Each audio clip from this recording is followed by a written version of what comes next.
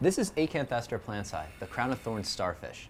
And this starfish is a voracious predator of corals. What it does is actually it will spit its stomach out onto the coral tissue, dissolve it, and bring it back in. And the only thing left is the bright white skeleton that was underneath that tissue. And that's why it's called coral bleaching, because it looks like the corals had been bleached. Now, in the 1960s, there was a, an epidemic, an outbreak of these on the Great Barrier Reef. And people there thought that if they cut them in half, they would be killing them. But this starfish, like many others, can actually regenerate if uh, damaged. So when the people were cutting them in half and throwing them overboard, they were actually doubling the population.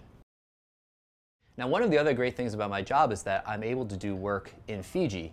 And one of the things that's really fascinating about that is learning about how Fijians understand their ecology as reflected through language.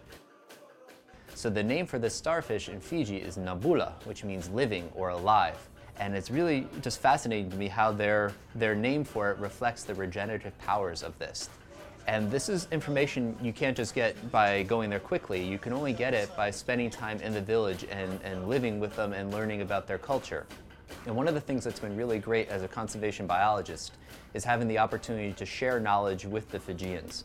So they can teach me a lot about the ecology and their traditional ecological knowledge of the reefs, and I'm able to share with them research that I do here at the Field Museum, like molecular biology and population genetics.